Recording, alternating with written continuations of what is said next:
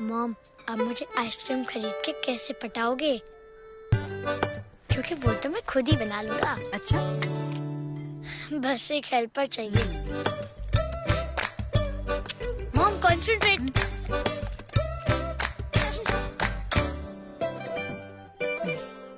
अब hair cut के लिए पटाना हो तो कोई और ही आइडिया सोचना। मिल्कमेट से बनाइए हर तरह की आइसक्रीम्स और रेसिपीज़ मिल्कमेट डॉट इन पर। From Nestle